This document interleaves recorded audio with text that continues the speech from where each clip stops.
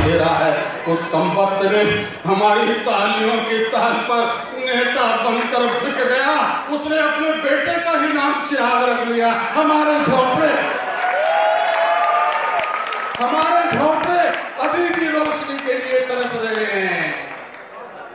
तो साथियों, ये जो लाखों रुपए, करोड़ों रुपए देकर के टिकट लाते और जीत करके जाते काय के लिए जाते हैं?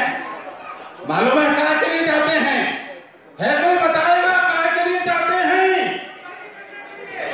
जाते हैं पार्लियामेंट में, विधानसभा में जाकर के गोंगे, खड़े और अंधे बनकर बैठने के लिए जाते हैं। समाज के ऊपर जुल्म होता है, इनकी जबान नहीं खुलती। समाज के ऊपर चित्कार होती है, इनके कान नहीं सुनते। समाज के साथ अनर्थ होता है, ये अंधे हो जाते हैं, उनके बारे में कुछ नहीं बोलते। तो साथियों, ये राजनीति जो है हमारे माफिक नहीं है। हमारे माफिक क्या है?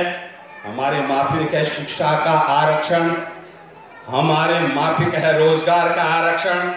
जो इसकी, किसकी? इसकी आँख में कांटे की तरह अखरता है। क्यों अखरता है? शांति स्वरूप बौद्ध और उसके पुरखे जब लंगोटा पहनते थे तो इनको बड़े अच्छे लगते थे। मगर अब हम अच्छे कपड़े पहनने लायक हो गए पेट में मरोड़ उठता।